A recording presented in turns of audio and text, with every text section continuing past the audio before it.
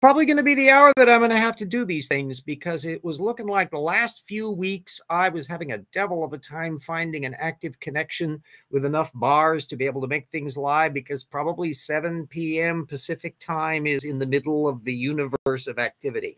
So here I am at uh, one o'clock in the morning and it seems to be working a little bit better. So this will be the little episode. Here's our thank you for our patrons. Uh, uh, let us conclude our screen sharing and try to pick up on the episode I was doing before. Sorry, we won't have the option for uh, people to show up in uh, discussion unless somebody happens to spot me here in the wee hours of the morning. Um, all we have to do is to go a short while of time and I'll be able to put up all the postings, the information, and change the title to make it match and all that. Anyway, continuing with our good old pal replacing Darwin. Uh, we're now into chapter nine, which is, where he promises to explore how the species could originate. 7,000 in just the vertebrates and in 1,100 families, in his view. Uh, and as the vastly larger, quote, invertebrate plant, fungal, and bacterial species, unquote, in a footnote, he begs off uh, going into admitting with amazing understatement and without examples or sources how, quote, YEC scientists are still debating the limits of ancestry in these species, and since some lean toward placing it as low as the subgenus level, it's more difficult to make a numerically robust argument. Does he mean that? the subgenus level is the species, isn't it? Pretty much uh, and uh, that there are some creationists thinking to make kinds at there for virtually everything other than humans uh, is news to me. So I'll be looking to see if anything gets clearer in the pages. Apparently, uh, there's nothing I can see in his subsequent work to suggest that he's pulling that little trick off, so I don't know. Um, the main text goes on basically with a reprise of his created heterozygosity argument uh, for Adam and Eve, which we know leads to preposterous conclusions, especially in his later book where he has things happening way too late in the uh, known record for things. Uh, we're going to be discussing that in volume two of The Rocks Were There, by the way. Um, Dan Stern Cardinale and others have dived into these aspects and we'll be alluding to all that. Anyway, um, that he does dump a few new sources in the notes regarding genetic combination. There's a 2015 paper from Williams uh, that uh, focused, um, it was a focus study on non crossover gene con conversions, which details Jeanson uh, repeated in his text. So basically, he copied the content of it. And a 2016 one from Haldorsson, which explored uh, sex mutation differences. Perfectly fine. But uh, two of the papers contained information Jeanson neither mentioned nor addressed in his own model. And I'll be putting the links up to those. There's a 2012 paper from Wang uh, from Cell, which is on human, uh, human sperm mutation rates uh, with uh, one of its conclusions being something Jeanson didn't allude to, namely, quote, the combination of data from our study and the Thousand Genome Project suggests that the germline mutation rate can vary greatly among different individuals, but not among different cells from the same individual. This may explain why the male mutation rate is not always higher than the female, unquote would that have any bearing upon the kind of dynamics that he's trying to do, given the fact that he's do, trying to do pedigree mutation rates as a surrogate for uh, fixation rates, problems that Dan Stern Cardinale has pointed out about? And then the other paper is a 2015 one from Palamara, which uh, he had had uh, some content Jeanson stepped around. It involves genetic data from populations over the last 100 generations, which is like 3,000 years or so, uh, to clarify mutation rates for longer rates and their modeling was fully within the context of a long ago human split. And for further clarification, Palamara has a lecture on their paper that I'll be putting a link to. Um, that their study deals with the last 400 generations of humans, in other words, 12,000 years, which is twice the age of the universe, and at the way outer boundary of the kind of argument that uh, Jeanson was dangling at us earlier in the book. Um, it's going to be fun to see whether or not any of that starts bearing fruit in the rest of the uh, text here because um, uh, Jeanson, Jeanson and Tomkins uh, and Sanford and all the rest are fascinating characters to watch in terms of their details. I, I uh, during the last couple of weeks when I haven't been able to get online, um, I've also been trying to dive into the 2019 paper that Jeanson did. Uh, this is in connection to the new uh, Rocks Were There book discussion where um, Jeanson tries to show that the data from a particular paper can be morphed in to match uh, population growth if you view it within a young Earth creationist context. And although one of the charts in that 2019 paper uh, is just clearly just a formulaic transposition of the dates that originally were like 250,000 years going down uh, to um, uh, or within a few hundred years, the most recent haplotypes. Uh, he morphed all of that in to uh, show how improper and inaccurate the uh, evolutionary model was. But that leads to just preposterous conclusions where um, uh, all of the genetic data that the regular evolutionary model is putting in the period like three, four, five, six thousand years ago uh, is occurring in the 19th century, in according to this truncated version that he pops up with. Now, the later charts are, all treating this same data set as just surrogates for population growth. And I know that I've been having trouble figuring out how he gets his numbers. He's got a bunch of supplementary charts that's that spread out all this stuff. And I, my preliminary looking in it looks like he's just making up numbers to go with uh, stuff. And Joel Duff can't figure out what the hell's going on with it. And uh, I don't think uh, Dan Stern Cardinale has had much success making sense of that stuff either. So we'll keep you posted as new developments come along. But it, it looks like there may be a shell game going on. Anyway, part two of the show uh, relates to uh, a 2022 post from Robert Carter which is um, on carbon dating, which reprises the golden oldies on carbon dating, including the statements that there are radiocarbon in dinosaurs and uh, diamonds, uh, as well as dissing the radiocarbon calibration. Oh, hello there, Slade. Hi, you're up. Here we go. Uh, I pardon. I've explained that that because of the difficulty of getting on for the last couple of weeks because of the the lack of bars um, I checked with the my internet provider and the like, and and they indicated that I needed to be much more careful about how many little bars I have on my little Wi-Fi.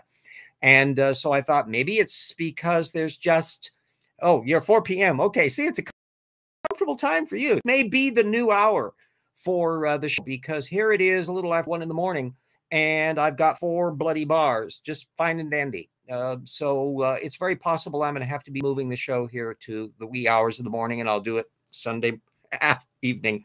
So new time, all the rest. Uh, anyway, um, uh, so I'll be putting material in following up on Jeanson, and then this Carter piece on radiocarbon dating is just a, a hoot. He uh, brings up a new 2020 paper uh, in relation to syphilis, which all connects up to the issue that Carter because of the weird chronology that Carter comes up with.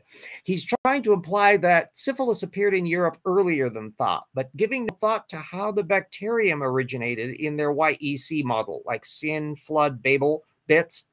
Um, all the various pathogenic organisms are kind of touched on in a peripheral way by creationists. And the volume two of the Rocks Were There is going to be going into that in some detail, uh, including such fun and games as chlamydia and tuberculosis and a lot of these other things. Creationists are in a mess because we've got actual records of how these things have occurred in biology and how some of them end up in human beings and when that's taking place. And in some cases, you've got parasites and others that are known from Egyptian mummies and those whole bunch of things. So, how do you go about dating all of this stuff?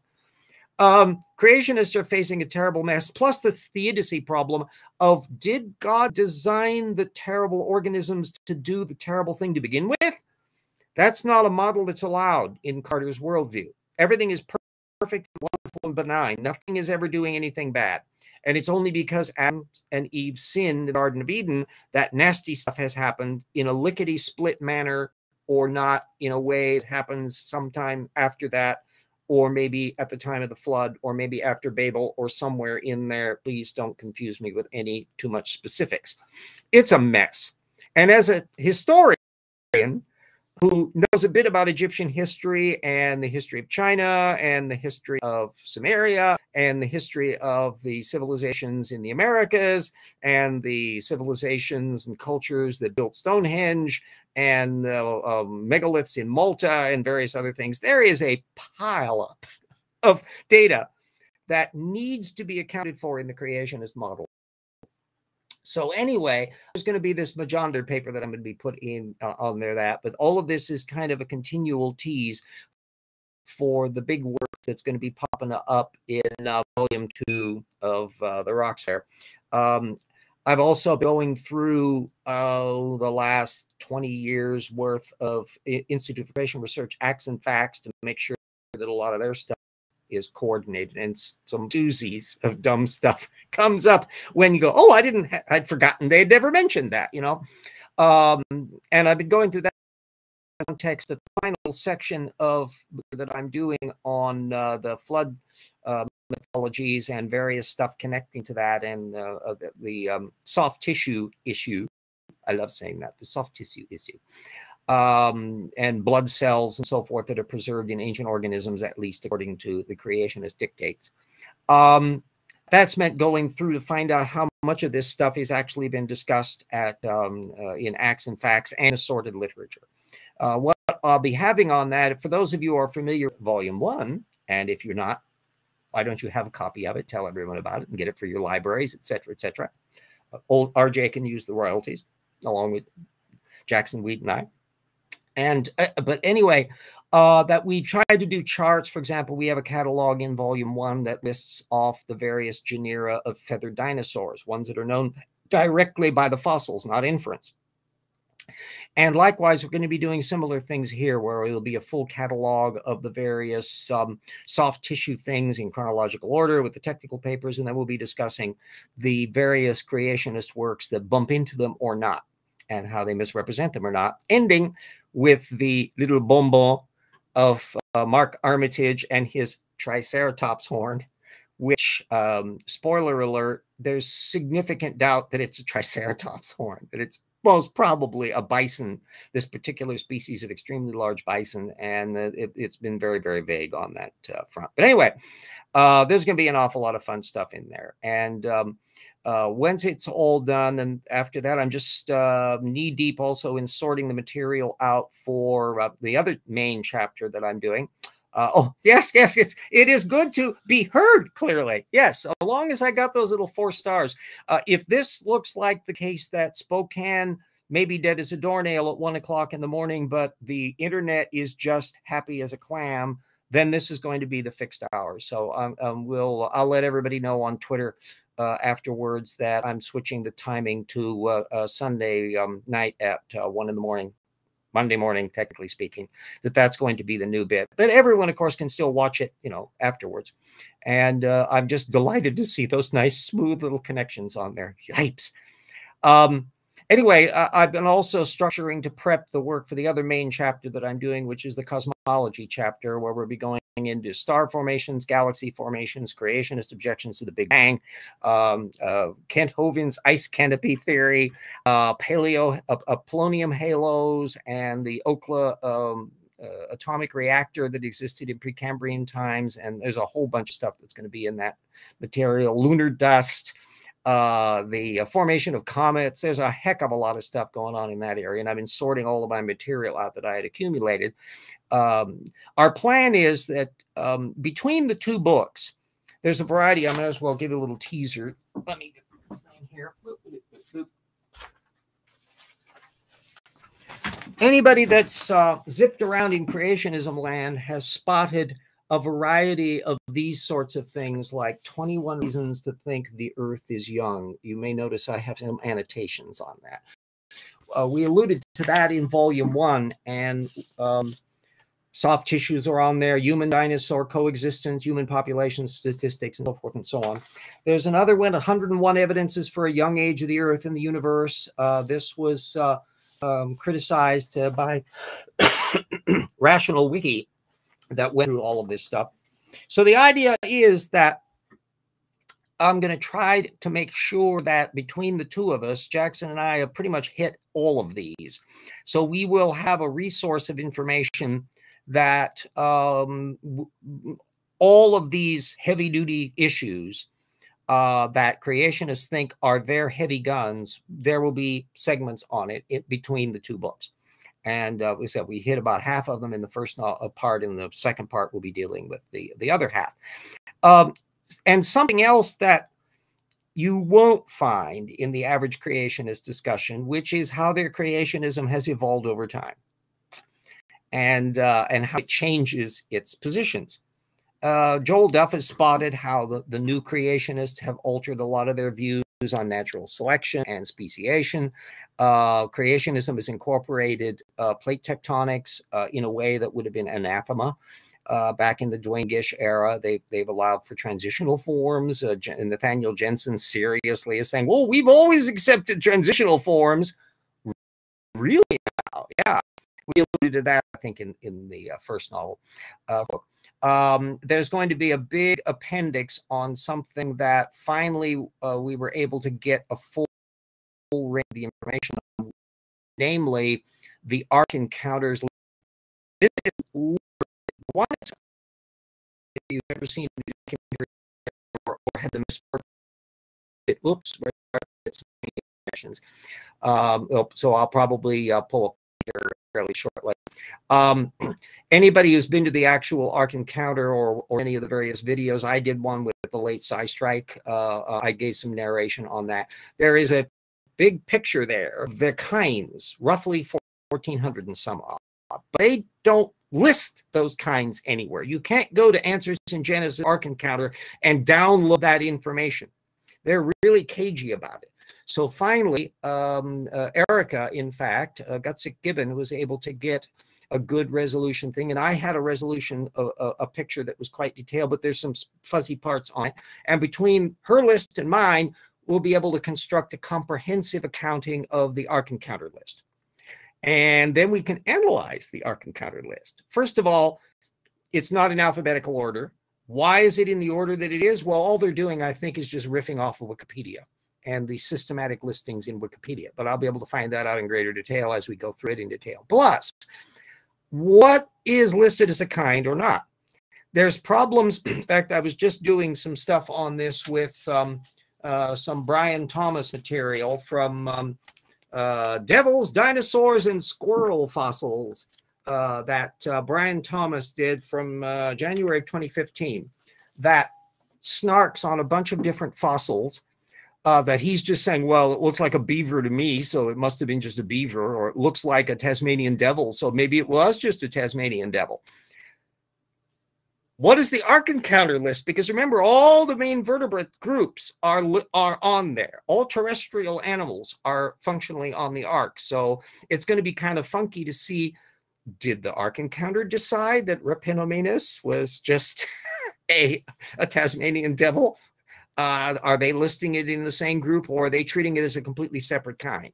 And in which case, does this not imply that Brian Thomas and the Ark Encounter don't share notes, which would be difficult to do anyway, given the fact that they've not made it very clear as to how they have arrived at the number of kinds that there are. And Gutsick Gibbon has pointed out some eccentricities on some of the systematics with um, uh, primates and uh, there's stuff on various reptile groups and others that uh, Dapper Dino has mentioned in that. So there's an awful lot of material to wonder scratch your head. Why do they have the items that they do?